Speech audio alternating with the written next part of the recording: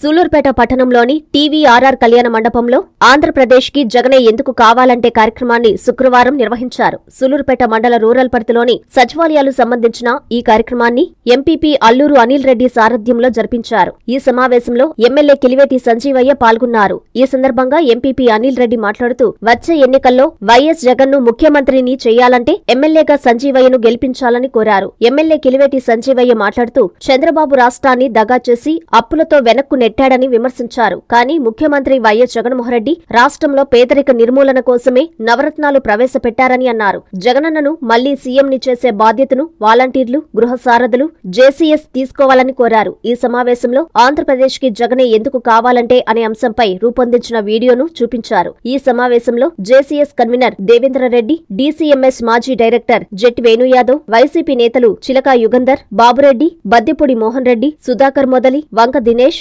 లక్ష్మయ్య మండల కోఆప్షన్ సభ్యుడు సుకుమార్ గురవయ్య తదితరులు పాల్గొన్నారు. లోకేష్ ఇతరు కూడా ఎక్కడ మీటింగ్ జరిగినా మేము అధికారంలోకి వస్తే సచివాలయ వ్యవస్థను రద్దు చేస్తాం. వాలంటీర్ వ్యవస్థని రద్దు చేస్తామని ప్రతి మీటింగ్లో బహిరంగంగానే చెప్తున్నారు. మీరందరూ కూడా జగన్మోహన్ రెడ్డి చేసినటువంటి కార్యక్రమాల గురించి ప్రజలకు వివరించి మళ్ళీ మూడోసారి మన ఎమ్మెల్యే గారిని ఎమ్మెల్యేగా చేసుకునే బాధ్యత మాకంటే కూడా మీ అందరి మీద కూడా ఉందని తెలియజేసుకుంటున్నాను. ఈరోజు మన ఎమ్మెల్యే గారు ప్రజల గురించి నిత్యం ప్రజల్లో ఉంటూ కనీసం రోజుకు పది గంటలు రోజుకు పది గంటలు గ్రీవెన్స్లో ఉండడం అంటే ఆషామాష విషయం కాదు. అంత ఓపికగా మీకోసం పనిచేస్తున్నటువంటి మన ఎమ్మెల్యే గారికి మనం కష్టపడవలసిన సమయం ఆసనమైంది మీరందరూ కూడా ఈ మూడు నాలుగు కూడా కష్టపడి మీకున్న పనులు కూడా పక్కన పెట్టి మన పార్టీ కోసం మీరందరూ కూడా కష్టపడి పనిచేసి మీరు మన వాలంటీర్ వ్యవస్థని సచివాలయ వ్యవస్థని బతికించే విధంగా పని చేయాలని మనస్ఫూర్తిగా కోరుకుంటూ మీరందరూ కూడా మీ చల్లని దీవెనలు సంజీవన్ గారి నుంచి ఉంచి ముచ్చటగా మూడోసారి దీవించాలని మనస్ఫూర్తిగా కోరుకుంటూ మీ అందరి దగ్గర సౌనీయంగా సెలవు తీసుకుంటాను. ఈ రాష్ట్రంలో జగన్మోహన్ రెడ్డి గారు ముఖ్యమంత్రి అయిన తర్వాత ఎలాంటి అభివృద్ధి కార్యక్రమం జరుగుతా ఉన్నాయి? ఈ రాష్ట్రాన్ని ఏ విధంగా ముందుకు తీసుకెళ్తున్నారు? భారతదేశంలోనే ఆంధ్ర రాష్ట్రాన్ని అగ్రగామి రాష్ట్రంగా తీర్చిదానికి ఆయన ఎలాంటి కష్టాలు పడుతున్నారు? ఆయన ఈరోజు చూస్తా ఉన్నాను మరి ఉమ్మడి ఆంధ్రప్రదేశ్ నుంచి ఆంధ్ర రాష్ట్రం విడిపోయిన తర్వాత అనేక ఇబ్బందులు అనేక సమస్యలు. మరి అలాంటి సందర్భంలో ఈ రాష్ట్రానికి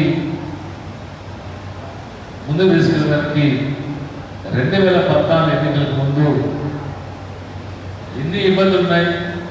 ఈ రాష్ట్రాన్ని ముందుకు తీసుకెళ్ళాలి. ఈ తీసుకెళ్ళే సందర్భంలో ఓటుకు హామీలు వేయకూడదు నెరవేర్చలేని హామీని ప్రజలకిచ్చి ప్రజల్ని మోసం చేయకూడదని ఆ రోజు జగన్మోహన్ రెడ్డి గారు భావించారు కాబట్టి అబద్ధపు హామీ ఇవ్వలేదు కాబట్టి రెండు వేల పద్నాలుగులో అలిది కాని హామీలు ఇచ్చి ఓటుకపు హామీలు ఇచ్చి అధికారమే పదావధిగా పరమావధిగా చంద్రబాబు నాయుడు గారు అధికారంలోకి రావడం రెండు వేల పద్నాలుగు నుంచి రెండు వేల పంతొమ్మిది వరకు ఈ రాష్ట్రాన్ని ఏ విధంగా దగా చేశారు ఈ రాష్ట్రాన్ని ఏ విధంగా వెనక్కి నెట్టారు? ఈ రాష్ట్రం ఏ విధంగా అప్పుల పాలన చేశారో మనకందరూ కూడా తెలిసిన విషయమే. మరి రెండు వేల పంతొమ్మిది ఎన్నికలకు ముందు జగనన్న ఇచ్చిన హామీ. ఆ రోజు తన సుదీర్ఘమైన పాదయాత్రలో ఈ రాష్ట్ర స్థితిగతులు తెలుసుకొని ఈ రాష్ట్రంలో పేదవాడు గొప్పవాడు కావాలంటే ఈ రాష్ట్రంలో పేదరికం పోవాలంటే ఈ రాష్ట్రంలో ప్రతి పేదవాడు సుఖంగా జీవనం సాగించాలంటే గౌరవంగా ఈ సమాజంలో ఉండాలంటే ఎలాంటి కార్యక్రమాలు చేయాలో మరి ఆ రోజు ఆలోచన చేసి నవరత్నాలు లాంటి తొమ్మిది పథకాలను కనుక ఈ రాష్ట్రంలో ఉన్న పేదవాళ్ళకి అందించగలిగితే ప్రతి ఒక్కరూ గౌరవంగా ఈ సమాజంలో ఉంటారని ఆలోచన చేసి ఆ రోజు మరి నవరత్నం అనే తొమ్మిది పథకాలని జగన్మోహన్ రెడ్డి గారు చెప్పడం జగన్మోహన్ రెడ్డి గారి మాట నమ్మడం ఈ రాష్ట్ర ప్రజలందరూ కూడా. ఈ రాష్ట్రంలో నూట యాభై ఒక్క స్థానాలతో జగన్మోహన్ గారు గెలిపించారు. జగన్మోహన్ గారు గెలిపించిన తర్వాత ప్రజల యొక్క నమ్మకాన్ని బొమ్మ చేయకుండా అంటే చంద్రబాబు నాయుడు గారు రెండు వేల పద్నాలుగులో హామీనిచ్చి ఏ విధంగా మోసం చేశారో ఆ విధంగా కాకుండా ప్రజలకి ఏదైతే చెప్పారో అన్నీ చూపించిన ఘనత మన ముఖ్యమంత్రిగా జగన్మోహన్ గారి దగ్గర.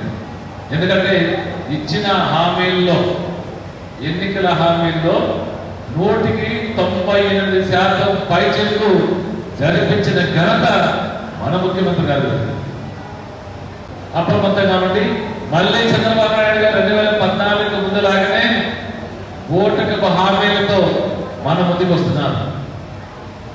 వారిని తిప్పికొట్టాలి. జగనన్నని మళ్ళీ ముఖ్యమంత్రి చేసుకోవాలి.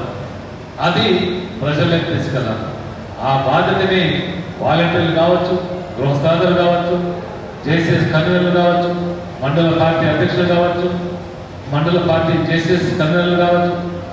మరి అందరిని కూడా మరి వైఎస్ఆర్ కాంగ్రెస్ పార్టీ నాయకులు కావచ్చు ఎమ్మెల్యేలు కావచ్చు ఎంపీలు కావచ్చు మరి ఏ స్థాయిలో ఉన్నాడు ప్రతి ఒక్కరిని రెండు వేల పంతొమ్మిది ఎన్నికలకు ముందు ఏ విధంగా అయితే కష్టపడ్డామో అంతకన్నా ఎక్కువ కష్టపడి మళ్ళీ వైఎస్ఆర్ కాంగ్రెస్ పార్టీ అధికారంలో తీసుకోవాలి జగన్మోహన్ గారిని మళ్ళీ ముఖ్యమంత్రిగా చేసుకోవాలి.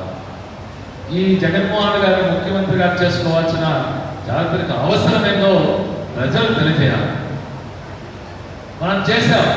రెండు వేల పంతొమ్మిదికి ముందు ఎన్నికలకు పోయే ముందు చెప్ప-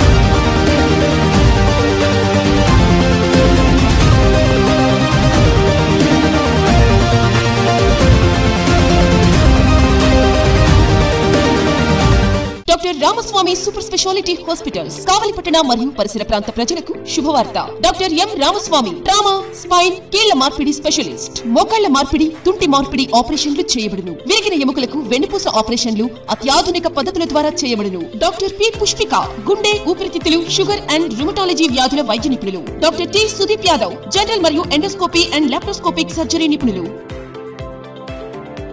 హెర్నియా పేగు జారుట ఇరవై నాలుగు గంటల పేగు హైడ్రోసెల్ ఆపరేషన్లు చేయబడును. వెంటిలేటర్తో కూడిన అధునాతన intensive care unit ICU.